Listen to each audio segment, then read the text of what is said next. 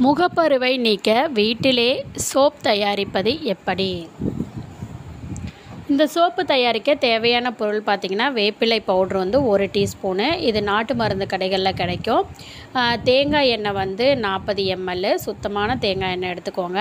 வேப்ப எண்ணெய் வந்து பத்து எம்எல் காஸ்டிக் லை வந்து பத்து எம்எல் சோப் மோட் வந்து தேவைப்படும் வடிவில். இதை எப்படி செய்யணும்னு பார்த்தீங்கன்னா ஃபஸ்ட்டு நாற்பது மில்லி அளவில் எடுத்து வச்சுருக்கக்கூடிய தேங்காய் எண்ணெயில் பத்து மில்லி அளவு வேப்ப எண்ணெய் கலந்துக்கோங்க.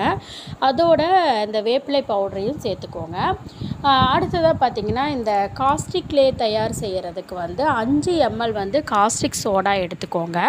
அதுக்கப்புறம் பத்து எம்எல் தண்ணீர் சேர்த்து நாலு மணி நேரம் வைக்கணுங்க. இப்போது இதை கட்டிகள் இல்லாதவாறு நல்லா மிக்ஸ் பண்ணிக்கோங்க. இதை நல்லா க கலந்ததை வந்து பொடி செஞ்சு காஸ்டிக் லேயில் ஊற்றிக்கோங்க. காஸ்டிக் லேயில் ஊட் ஊற்றுனதுக்கப்புறம் கெட்டியான நிலைக்கு வரும் வர நல்லா இதை கலந்துக்கோங்க.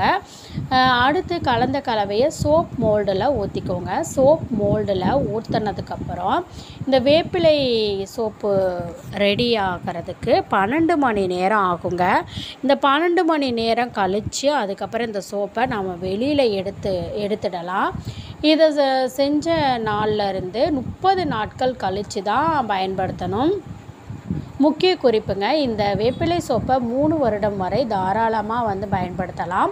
வேப்பிலை சோப்பை வந்து பார்த்திங்கன்னா தொடர்ச்சியாக பயன்படுத்தி வரதுனால சருமத்தில் ஏற்பட்ட பருக்கள் கரும்புள்ளி நீங்கிடும். சருமத்தில் கரும்புள்ளி பிரச்சனை உள்ளவங்க இந்த வேப்பிலை சோப்பை ட்ரை பண்ணுங்கள் கண்டிப்பாக ஹண்ட்ரட் பர்சன்டேஜ் வந்து ரிசல்ட் கொடுக்குங்க.